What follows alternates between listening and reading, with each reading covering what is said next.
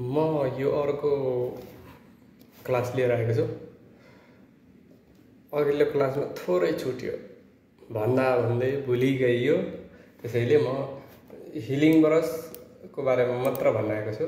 धेरै time लिँदिनँ just दुई दुई तिन मिनट चाहिँ काम ठिक तपाईँको मैले एउटा पिक्चर ल्याएर राखेको छु एउटा।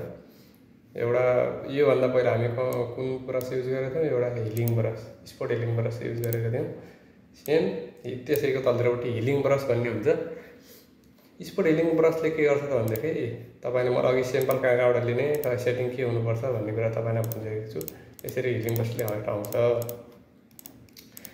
स्पोर्ट हिलिङ ब्रसको काम पनि सेम हो है।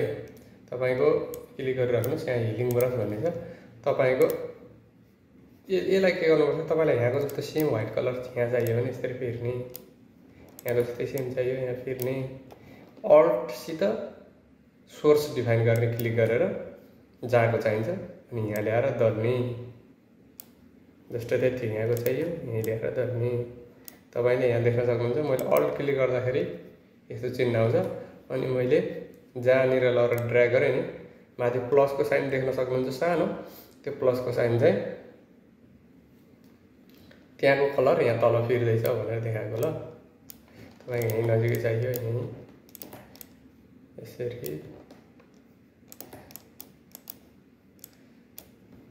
यहीँ नजिकै टाढा टाढाको फेर त नराम्रो देखिन्छ नि फेरि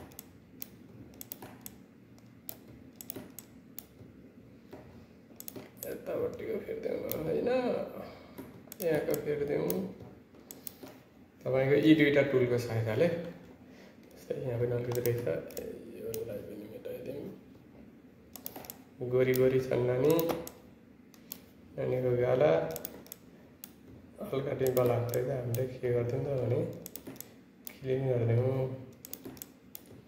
कहीँनिर रातो कहीँनिर सेतो भयो त्यसलाई हामी अरू अरू टुल युज गरेर यो हिलिङ ब्रस युज गरेर स्पोर्ट हिलिङ ब्रस युज गरेर राम्रो बनाउनु सकिन्छ।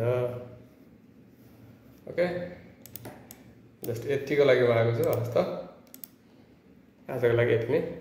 यो क्लास एकदम छोटो दुई मिनटको सर्ट क्लास त भयो ओके? हस् त नमस्ते।